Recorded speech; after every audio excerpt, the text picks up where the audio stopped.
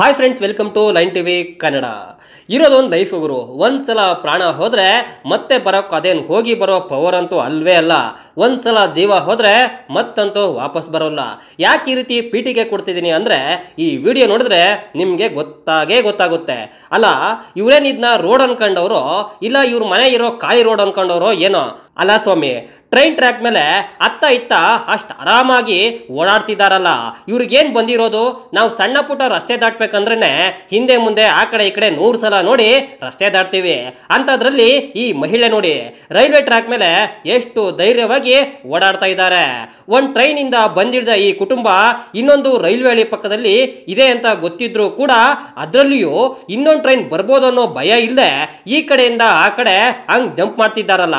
ಇಂಥ ಜನಕ್ಕೆ ಏನ್ ಹೇಳೋಣ ನಮ್ ಜನಕ್ಕೆ ಸ್ವಲ್ಪ ಆದ್ರೂ ಜೀವದ ಮೇಲೆ ಭಯ ಬೇಡವಾ? ಈ ವಿಡಿಯೋ ನೋಡ್ತಿದ್ದವರಿಗೇನೆ ಜೀವ ಬಾಯಿಗೆ ಬಂದಂಗಾಗುತ್ತೆ.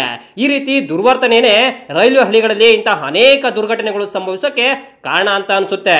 ಏನೇ ಆದ್ರೂ ಈ ರೀತಿ ಯಾರು ಕೂಡ ಮಾಡಕ್ ಹೋಗ್ಬೇಡಿ. ಅವ್ರ ಟೈಮ್ ಏನೋ ಚೆನ್ನಾಗಿತ್ತು. ಬದುಕು ಉಳಿದ್ಬಿಟ್ರು ಅರೆ ಕ್ಷಣ ಹೆಚ್ಚು ಕಡಿಮೆ ಆಗಿದ್ರು ಕೂಡ ಅವ್ರ ದೇಹ ಈಗ ಏನಾಗ್ತಿತ್ತೋ ಏನೋ.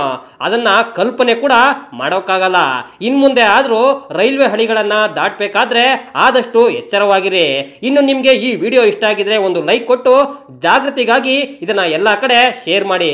ಇದೇ ರೀತಿ ಹೆಚ್ಚಿನ ವಿಡಿಯೋಗಳಿಗಾಗಿ ನಮ್ಮ Line TV Kannada YouTube channel ಅನ್ನ ಸಬ್ಸ್ಕ್ರೈಬ್ ಮಾಡ್ಕೊಳ್ಳಿ. ಧನ್ಯವಾದಗಳು.